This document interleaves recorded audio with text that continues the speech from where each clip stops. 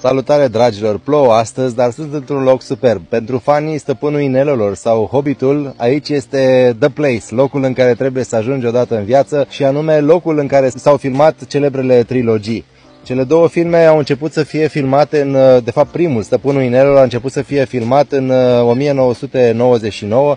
Au găsit, regizorul Peter Jackson a găsit locul acesta de filmare în 98 și au început să construiască, iar pentru a-l construi a fost implicată inclusiv armata care a pus la dispoziție aici în Noua Zeelandă uh, instrumente și oameni ca să construiască drumuri și să facă infrastructura în zona aceasta. Practic, uh, guvernul din Noua Zeelandă a susținut cinematografia de aici și dincolo de aceste filme, ulterior s-au mai filmat și altele. Apoi, 10 ani mai târziu, este filmat în 2009 aici uh, a doua trilogie, Hobbitul, tot același regizor, Peter Jackson, deja primul uh, film era super celebru și cunoscut în toată lumea, iar după, acum 24 de ani mai târziu, locul acesta este o mină de aur, atât pentru regizorul uh, filmului, cât și pentru fermierul care a pus la dispoziție terenul. Fermierul acesta pur și simplu a închiriat spațiul acesta dintr-o fermă a lui care avea undeva pe la 500 de hectare și avea vreo 13.000 de oi. În continuare se ocupă și cu businessul acesta, cu